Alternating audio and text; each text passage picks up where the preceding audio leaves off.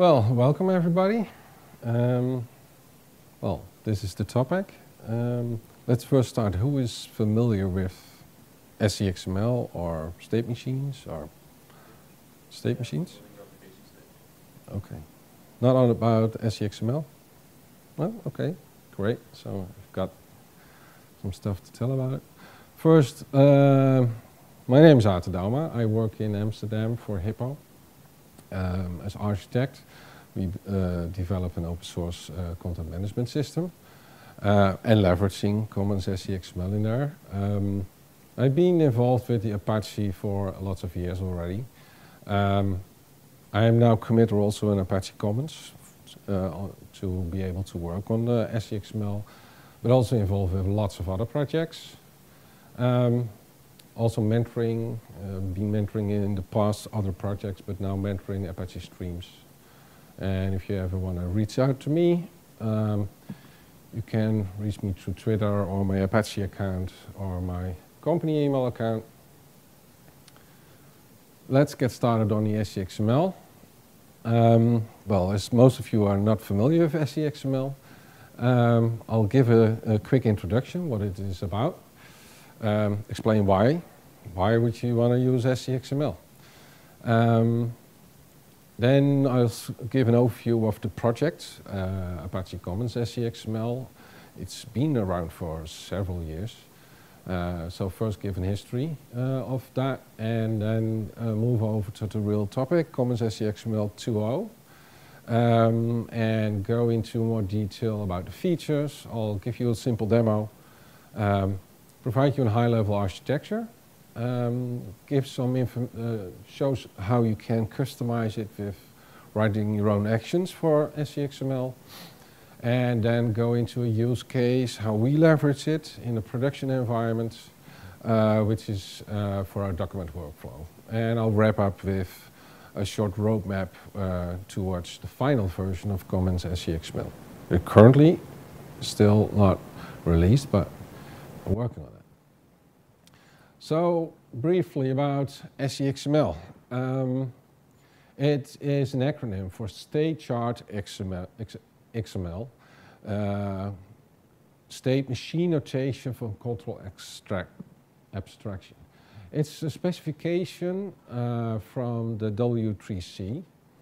Um, and it's a markup language to define a state machine execution environment. So it's more than just a markup language. It actually has uh, an algorithm specification how it should execute. So it's, it's much more than just uh, a schema definition as such, if you, if you like. If you're familiar with state machines a bit, uh, in UML, uh, hierarchical state charts is, is very common and SCXML extends on that. So it supports the UML state charts, but is uh, more rich even than that. Um, and it's been drafted since 2005. And early this year, um, it moved to candidate recommendation, which means that the language of the specification is more or less finished. Um, and uh, in a W3C means candidate recommendation um, to become a formal recommendation, which is the final state in a W3C specification. Uh, for all the features, they require at least two independent implementations to show it's uh, uh, usable and actually uh, feasible uh, the, the, the requirements they specify. So this is the state they're right now in. Well, if you know a little bit about uh, state charts, this is a typical example, uh, very simple. It's the stopwatch. So uh, is it readable enough, sharp enough? I think so. Um, it's uh, a stopwatch. You can start it, you can stop it, you can pause it, you can reset it. That's very simplistic. And in SCXML, it's defined as a set of states uh, which can have a transition to another state. So you can go from reset to running. Is this?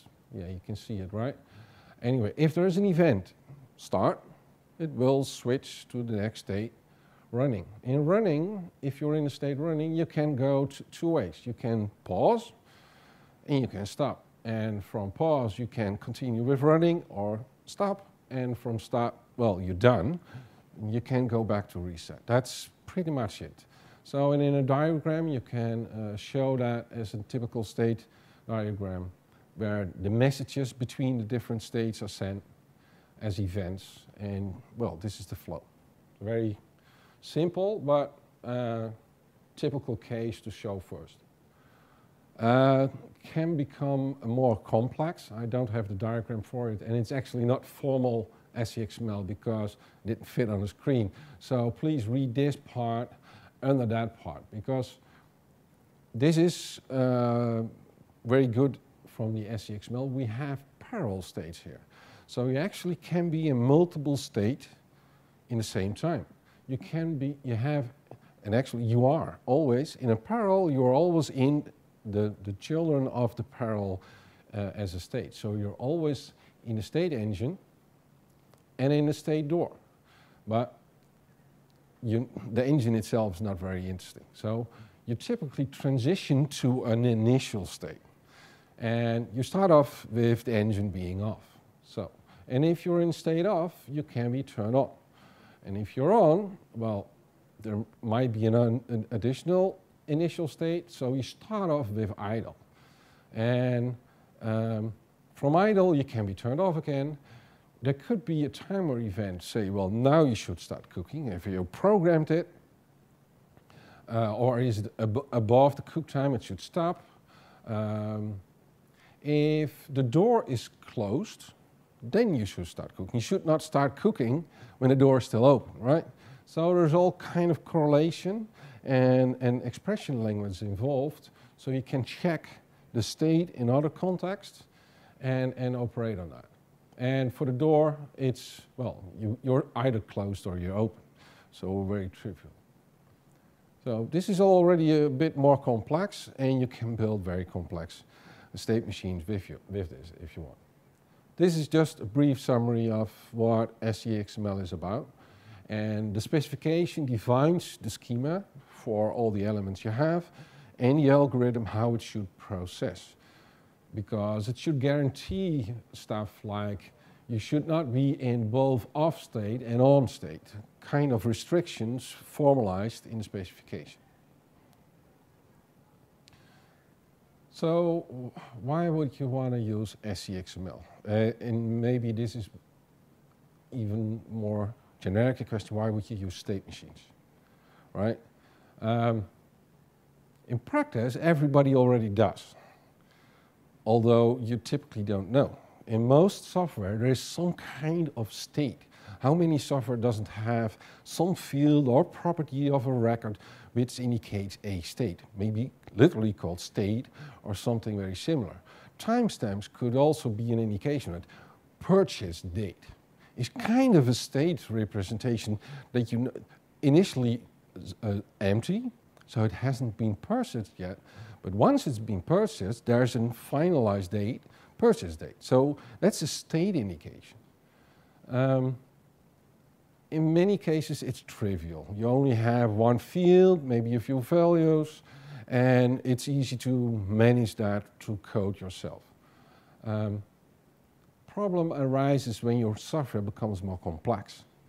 Uh, if a lot of conditions starts to uh, put into play guard conditions, when should be able to purchase this? Did somebody has enough account credits or uh, all kind of conditions which makes it much more complex to determine is it now allowed to transition from state A to state B. And then if a lot of code is involved and changes over time, uh, people end up in a situation, well, realizing, real, realization check uh, kicks in, maybe it would have been better to use a state machine at that time. So often it's too late a realization. And uh, you, you don't see that many software actually using a formal state machine because first, they don't think it's needed. You ain't gonna need it. And then when they're gonna need it, it's too late because it's so costly to rewrite your software in a formal managed uh, configuration, people just don't bother. But typically, the price is uh, kept going on. So uh, my advice is always check how long am I going to maintain this, uh, and if it's for a longer period of time, seriously consider using a state machine because the benefits are, are, are very rewarding. Um, if you use a state machine like SCXML or it could be something else, um, your code and your logic is easier to validate. It's easier to, to test because you have a formal uh, conditioning and, and specification when it should be invoked and when not. Uh, it's often possible to do it in isolation and it's like dependency injection. Everybody is is, is aware of how important it is because uh, it allows you, your code to be more modular and easier to test. The same goes for a logic within uh, execution context of a state machine, even more so. You encapsulate that logic typically in smaller coding blocks, in command-like operations. Um, it simplifies the code often enough uh, as well because if you have coded out your uh, state machine logic throughout the place, it's typically scattered throughout of the place. So you see the same logic and guard conditions repeated over and over again. If you use a more formalized state machine, you encapsulate that within your model.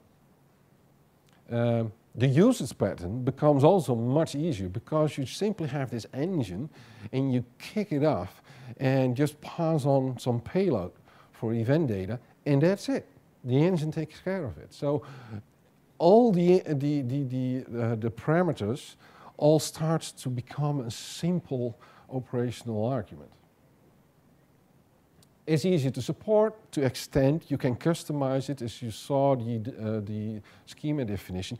You can actually extend it a lot, so you can easily add certain event handling, some on exit, on entry, on transition handling, all in addition to your normal uh, flow processing. So while you don't touch the behavior of your uh, primary uh, process, you can attach multiple event listeners or handling uh, without many costs. Try to do that within your big blob of logic processing of your current state machine. And, and uh, also sometimes in, uh, what people are afraid of, well, what's the overhead of generalizing such thing in, in an engine? In practice, it's totally neglectable. Many cases, there's some persistence layer in between or large transaction processing going on. And this is, is, is neglectable overhead uh, in the overall scope of your operational process. So back to Commons SCXML. Um, like you saw before, the specification draft started in 2005, and so was Commons SCXML.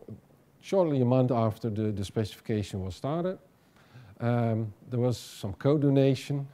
Um, if I'm sure I wasn't involved at that time, uh, there was some donation from IBM involved as well. Um, and the project started uh, in 2005. They had a first release called 0.5. Not sure why there was not 0.1 until 4, but the first release was 0.5. Uh, in 2007, um, the last release was 0.9. It's 2010, so that's quite some time ago. Um, I'll get into that. Today, it's still the only Java, or at least a known open source Java implementation of the specification. But the specification is language independent. And it's actually picked up by a lot of other languages. So Python, C++, Ruby, Lua, JavaScript a lot. client side, even the whole engine is running just in a browser. Um, and it's quite interesting to see how that works. So they use it for mobile, multimodal interactions, uh, voice interactions. This is actually a spec hosted by the voice group from W3C, so there's a large interest in that area as well. Um, in version 0.9 uh, from a Commons SCXML was quite used quite a lot. Um, it's ended up in a lot of commercial products. Uh, so they actually use it to allow people to write their own uh, small state machine logic uh, provided as an extension point for their products. But it's all 0.9 based. The project, however, got kind of stalled. So in 2010 was about the last activity on this version. Um, people just got drifted and, and, switched to other work, so kind of ended in some dead water situation. The SCXML specification, however, was churning along quite a bit. So the specification of today is radically different on some elements, important elements, from what the Commons SCXML 0.9 was based upon. It was working pretty fine. A lot of people could use it as is, but it's not no longer based on the latest specification. So, ready for attic? I mean, that's what happens when projects kind of die out. Uh, well, no. Um, last October, um, I got involved. Woonsan, he's also here, got involved. Um, we picked it up. From our company, we got interest in this uh, because it's so much potential in it. For all the reason I already gave it, gave you, and we thought it's just a shame. It's it's a very good baseline, and uh, it's it's very capable of, of providing all the all the features from the spec.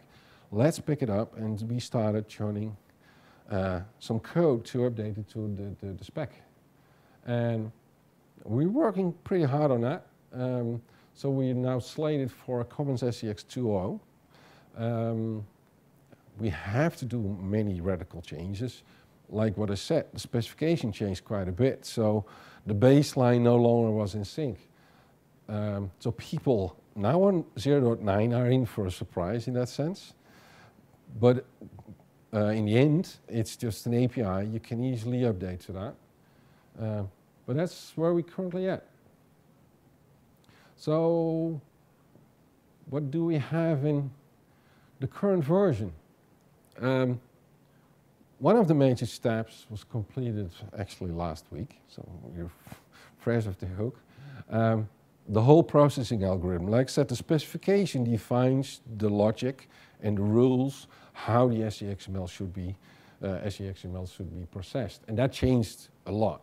So we had a lot of work to update to that specification and we more or less rewrote the whole thing uh, based on the current specification.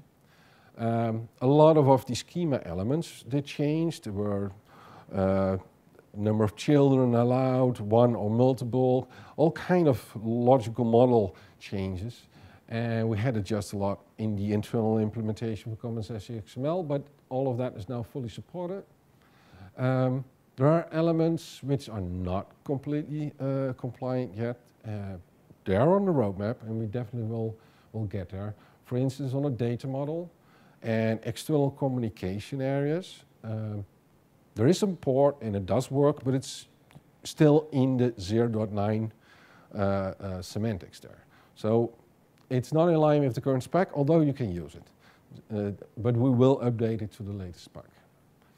Um, well, what more models do we have? Well, special to the Commons SCXML is we have something we call hierarchical context. So you saw the diagram of the microwave, for instance, and you have an off state of the door of the engine. It has some context in which you can use data. Right? You can evaluate data, you can store data, you can uh, have some expression on that. In a specification, there's just one space. Everything has one global scope and all data is shared everywhere. Still feasible with Commons SEBS, but it allows you to also have local scope data. Which is powerful because you can just have within the scope of your engine, for instance, data which is not visible or even uh, affecting data in your door. Um, It's fine to use the global scope, but you ha have the ability to use local scope. Um, well, everything is in a Java model. Um, the whole model is just uh, Java beans, kind of, so you, you don't need to use XML at all. You can just use Java code to bootstrap your whole logic and store it in a different model if you want. Um, also different from the specification, it assumes you're running in a, uh, a separate processing thread. So we have this engine and it's running and you just fire events to it and something happens. But the whole concept in the specification, this is a standalone separate thread and it just, you start it and then you're off you go. Um, that's fine, and you can do that with Common Commons SCXML, but for embedded use cases, where you don't need to uh, have this separate process going on, it's much more efficient to just manually kick off another event, have the engine process it, and get back the result. You manage the, the, the, the event queue, more or less, but uh, you only kick off the separate uh, event processing. It's easy to wrap this in a separate thread and just keep on processing any incoming events, but you don't need to do that in Commons SCXML. And we have uh, several scripting languages support.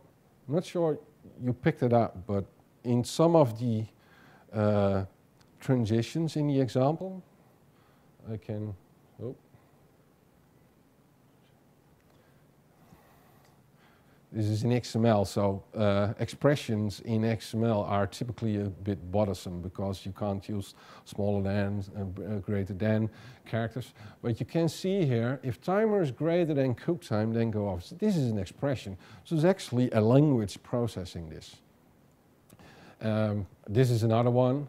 Uh, and you can put any construct uh, in there if you want, um, uh, but you need to pick a language for it right? Some interpreter language should be uh, used for that. Well, SCXML has currently out of the box JEXL, uh, Apache Commons JEXL. This is a Java expression language parser, Groovy. Uh, and although a bit limited, but we'll uh, get there as well, JavaScript and even XPath expressions. Um, also a nice addition, which is not defined in the specification, but we have the construct of a listener. So you can attach a listener to events going on. So if you transition from door closed to door on, uh, open, there's an event going on, you have a transition going on, and you move from one state to another state. All these events you have, can have a listener for, and they get a callback. So you can do whatever you want. You can call some audit trail or uh, do other external processing if you want. Um, you can also serialize the, the, the, state itself. So if you're in a certain state, the door is open, uh, the engine is in idle because the door is open, you can't start, that state can be preserved. So you can write it down in a database if you want, um, and later on pick it up, restore the state, and just continue from that, from that point instead of rewinding all to the start of your engine. And very important is the last two points. This is where we got interested in Commons SCXML, and I think this is the real power of the, of the project. It's extendable, it's customizable, you can hook it in your business logic, in your engine requirements, uh, you write your own actions, which should be executed when you transition from A to B, or when you enter a certain state, or when you leave a certain state. You can do whatever you want and still use a formal state machine configuration, which can be validated and wired into a business environment. So let's uh, show us a very simple demo uh, just showing a little bit. You saw the stopwatch example, right? I show it again, just running it. And just for the fun of it, I'll use a separate project. It's SCXML GUI. That's something on, on uh, uh, Google Code. So it's not related to the project itself, but it's been there for several years and it's an editor to define your own SCXML uh, diagrams. Uh, the diagram I showed before, actually drafted it in, in, the, in the editor. It's pretty nice. It has its quirks. It's, it's not that great, but it's good enough for showing and, and to draft out your first uh, uh, definitions. So this is the SCXML GUI, a very simple tool. See, here's the uh, diagram again. Uh, so this is based on the SCXML document, and it renders this. Um, and the interesting bit is, um, in the demo, I added a SCXML listener, like I described, which attaches it to the events going on into the process, and just through a socket communicated this back to the SCXML GUI. Now the funny thing is it can show me where I am in the state process. So let's open the socket port. So it starts listening on port 5000. I, of course, I prepare this. So this is my stopwatch program. It's part of the, of the project, so you can actually uh, test and drive this yourself. And if I just run this, it starts a simple JFrame program, just a stopwatch. It has the SCXML engine in uh, between. But if I now go back to this one, I can start it, the stopwatch. Well, it's actually running, and you noticed the events are now through a socket uh, arrived in the XML GUI. It knows it's now in the running state, right? I can split it, and it just moves along. It's a trivial example, but shows you how you can wire processes together in a more complex way if you need it, right? Well, and this is just, well, it can go up and down and back and forth, and that's about it. But it simply works, right? It's trivial, but it's pretty powerful to show. Well, let's go back to the presentation. Now some more meat. So get a bit more technical here. Um, so what's all behind this? It's not a complex project. It's, I think the most complex part is all on this screen. Uh, all the other elements, I'm not showing a lot of other stuff, so not a model object for a state or for a transition or for a parallel, they're all there.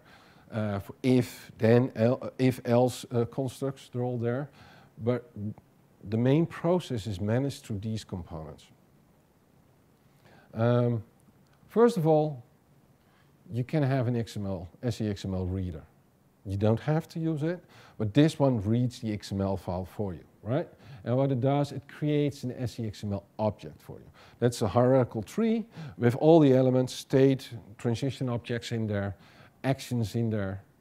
Um, but then you just have the SCXML object. It's kind of an immutable because you only need to read it once and you can reuse it across as many instances of an SCXML execution if you want because it's just an immutable uh, model, right? So you only read this once. What you do is you feed it to the executor. So it has a set state machine uh, uh, method. And the SCXML executor holds a reference to two different objects.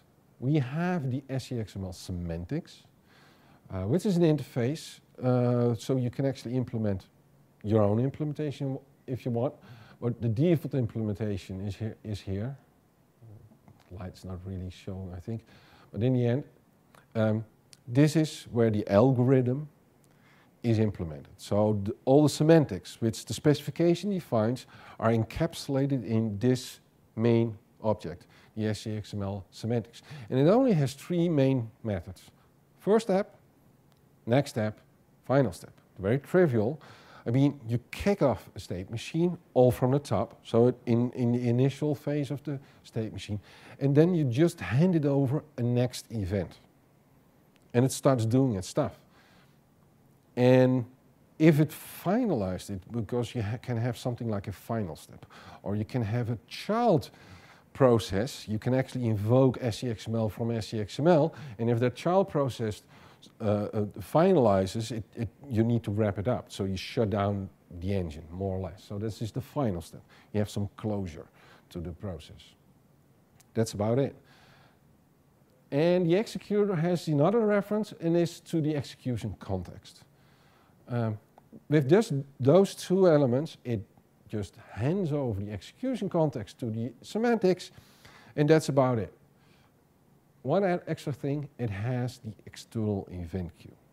So it manages incoming events. You can have asynchronous events arriving. For instance, I can invoke processes from my state machine which can report back. But as this invocation is asynchronous, the events coming back, the messages coming back are also asynchronous. So the executioner, executor holds this external event queue, which is a blocking an, an asynchronous event list, and it just accepts them. Doesn't do anything with it. Um, it this is the add event. Nothing happens, just stores it. And uh, from a usage perspective, you own the SCXML execution. You just says, say trigger event, or I'm not even showing here, trigger next event. So you can add your own on top of the stack because there might be other events to be processed, or you just say, just start with the next event, do your thing. The execution context this is where more or less the configuration lives. It has something called an instance. This maintains the current state, so it knows about am I in idle state in my engine or is the door open? So if you want to persist your state, this is the object you're going to persist, right? It has the real current state information about your state machine. It also has this set of contexts Remember I said you can have local context or there is this global context which is shared across the state machine. That's all a kind of a serializable map and it's all maintained within the SC instance. So if you serialize your instance, you serialize the data with it and can restore it as well. Uh, the actual current state is managed in a status and it, of course it holds a reference to the actual SCXML model like I said, it's immutable, but it, of course, it's, it's based off this single SCXML model. So if you hand over a state machine to the SCXML executor, it actually gives it back to the execution context, and that one gives it back to the SC instance. So in the end, the reference is only maintained in your, in your instance. Well, then the semantics is doing the hard stuff, having an execution context so it can uh, uh, get hold of the expression evaluator. I mean, is it JavaScript, is it JEXL?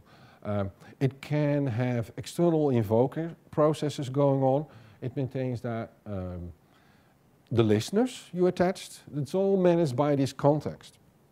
So the semantics object uses that one to get hold of this whole configuration of your context. And can do the transitions. Uh, event coming in, it knows now I need to go from state A to state B. And there might be actions to execute. There might be conditionals in there. If condition A, else condition B, for each loops, um, but also raise, uh, send uh, uh, executions. All of that are actions. So it actually also executes the actions which are childs of the SCXML and uses a more restricted context, the action execution context. So in your action context, which you get handed over as your action implementation, you get a subset of this context. Otherwise, I mean, you should not be able to access the, the whole instance data. Uh, so you're kind of in a sandboxed environment. I think that pretty much wraps it up. That's, this is the whole process how it works. So it's a, well, not trivial, but it's not a really complex model either. And the rest of it is just minor action definitions and, and, and element definitions. The real complexity is in the semantics implementation because there are all the rules for the algorithm implementation there. Um, okay, custom actions. How am I doing time? I need to speed up a little bit, I see. Okay. Um, let's say you want to write your own custom actions.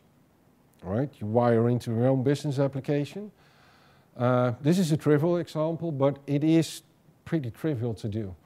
Um, the SCXML reader, like I showed before, you can invoke it with a list of custom actions, which is just a wrapper object um, around your own action. And you have to hand it over a, an element name, a local element name, and a namespace to execute it in. Because you're ending up adding non-defined XML elements, right? It's, it, it has to be namespaced, and you have to specify what element name it should look for to attach it to this action. So this is what the custom action does. It is a very simple wrapper, and you just hand it over the class name of the action you implemented. Then writing your action is, well, this is about the simplest example I could write it. Uh, of course, this in practice will be more uh, elaborate, but this is just an action which does just calculate whatever expression you put on the element and just uh, uh system out print line. I mean, just as trivial uh, example. But you define it as an extension of an action, it's the base class of From Commons SCXML, and it has more or less one execute method. Your action execution context is passed in, you can retrieve the context of your current action um, because you might have custom namespaces set, right? On your XML definition, you, you have to, on the stack of processing, you have to set your own namespace, which is known already. And then you can, the actual work is here. Well, just walk over here. Uh, this is, I have an evaluation engine, an evaluator, and it just evaluate my current expression. Well, my current expression is in, I define here as just 1 plus 1, but could be anything, right? Whatever data you want to process in that context could be your local data. External data doesn't necessarily have to come from the, the XML uh, definition itself, and just does this thing. And, well, setting it up, you have your custom namespace here, and then you can just define your element. And that's it. So in this case, uh, the simplest case, I have one final state, and it, you only have an entry more or less there. And every time you enter it, this action will be executed. Pretty trivial. okay, now about the more uh, elaborate use case, uh, where we actually use it for. For Hippo CMS, uh, we are content management system uh, product, and uh, that's pretty complex for document workflow, whatever users can do. They can publish, they can request publication, they can edit, they can uh, uh, save it, can delete it, they can copy it, all kind of state processing around what we call a document. And uh, well, this is just a high-level overview of the whole state transitions you could go through from a document. Um, and we used to have this written by code on multiple uh, uh, locations, so it was kind of scattered and it became kind of unmanageable. Uh, for us, it's very important that, that our customers uh, who typically extend our product. We provide you a base product, but in your business case, your CMS typically has additional requirements for workflow. So it needs to be easy to customize and extend. And our solution, while it worked, it involved a lot of code writing and that didn't work enough anymore. So this is one of the reasons why we switched to SCXML. Um, because we store everything in our content management repository, which is Jackrabbit based, so JCR, if you're familiar with it, it's a hierarchical data uh, repository. Um, and we actually store this whole process definition also in the repository. Uh, and we can manage that at runtime. So you can actually change the workflow definition if you want. Well, not everybody should do it every time, but you can deploy kind of in a running system an update to your workflow definition. That's truly, truly powerful. Before we had to write code and it involved redeployments and just takes a lot more time. So a little bit implementation details. Um, well, I just, for anyone uh, interested in the code details, it's all open source. We're Apache license, so you can look at it uh, and it's, this is just URL for it. Um, we extended a lot on the baseline of Commons SCXML because it's a bare bones engine.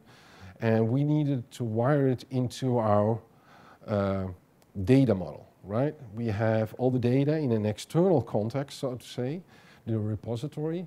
And we added some additional layers on top so we can actually manage the communication between the state machine and the backend repository.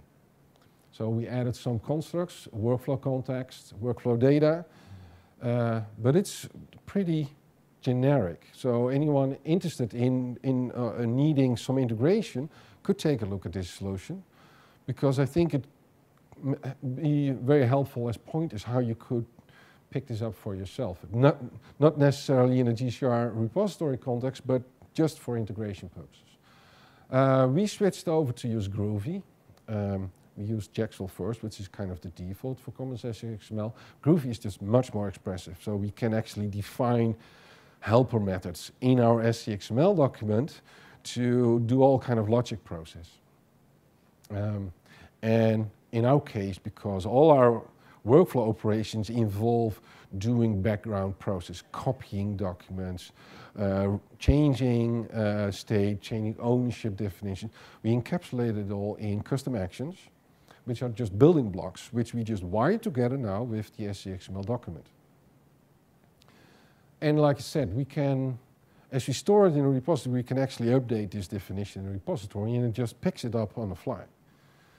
Um, and last bit important to note, because we are fully dependent on external data, in our case, we not, do not use internal data in the state machine. Everything is coming from our repository. So we're not persisting anything. And actually, because it's pretty fast. We just restart the engine. If something in the data model changes, we re just reinitialize the state machine to get the current state representation for our data. So is a user allowed to publish is depending on the state and we just re-evaluate state machine every time. I have very short minutes left, so I wanted to show a little bit about it. Um, Okay, so let's see. This is our CMS. Oh. Hold on. Probably connected. Try it again. So I'm just showing you in a CMS A document, right? Is it, well, good enough to read? Um, and I have a set of operations as an editor. I logged in as an editor. I typically can do. Um, this document I actually hacked a little bit just to show you the difference. So if I open another document, you see I'm allowed to edit it. If you can see it, here's the edit button. I can, for instance, publish it. Well, in this case, not, I didn't modify it. State is green, it's already published, but I could take it offline if you want. Um, and for instance, as a document, I can copy it, can create new new instance of this document. I can get other inf information for it.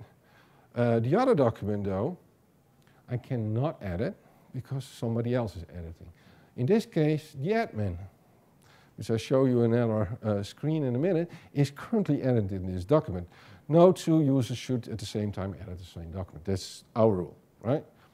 Um, and I can't depublish or publish because it's under modification. Um, I still can copy it though, because what I'm looking at is still the published version, so it's fine to create a copy of that. Now let's switch to another session.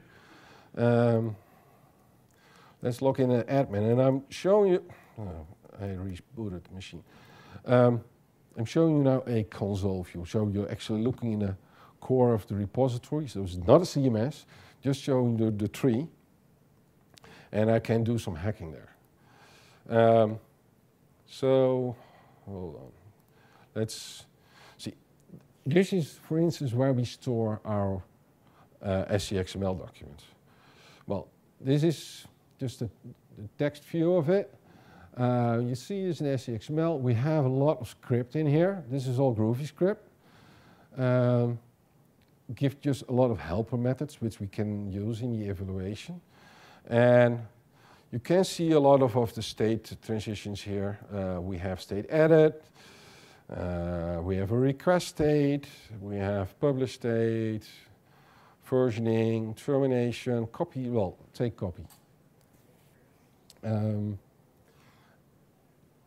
one of the rules here is I need to be in Hippo editor to be able to copy right? That's a, this is a, uh, a role. It's not a user, but it's a role. The user needs to be an editor. Well, let's say, well, no, I make it easier. Let's just take out the whole copy. The fact that the copy definition was in here defined the fact that I get this, this operation available. Let's just write this. So I took out the copy. Now let's go back here. And which one was it? Oh, this one. So copy is gone. So it, I just removed the copy operation.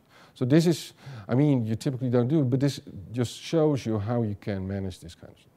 And to show you one more thing, before I wrap it up, we, let's go to the document.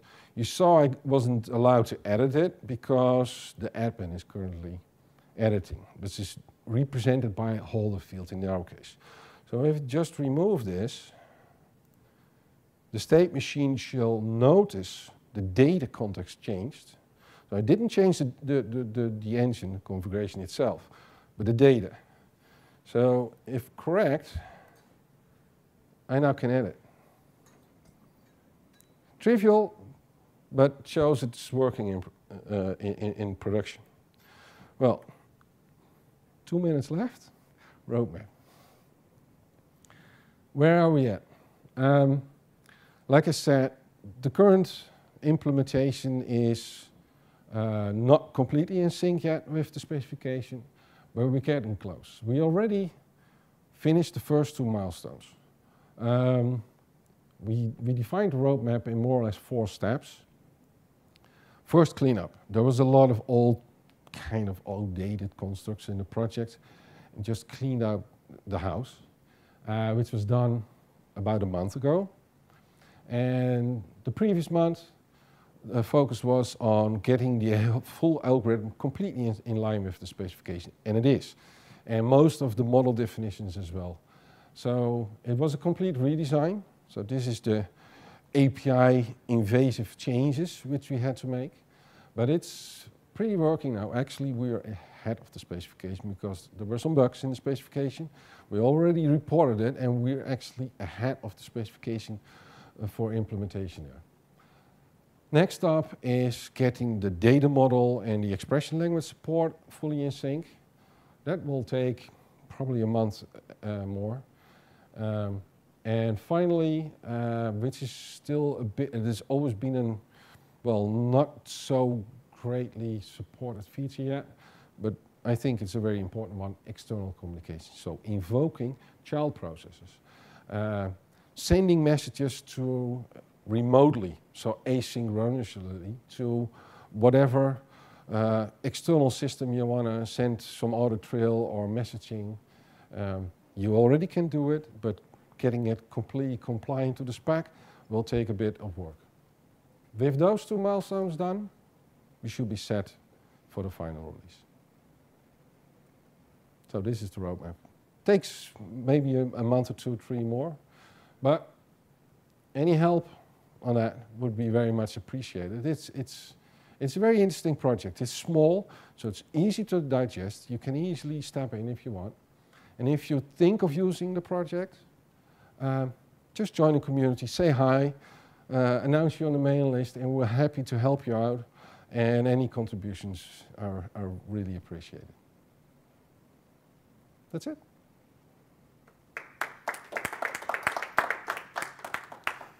I think I have no time left for questions. No time, unless you want to hang out. We've got uh, 10 minutes, looks like, until our next speaker.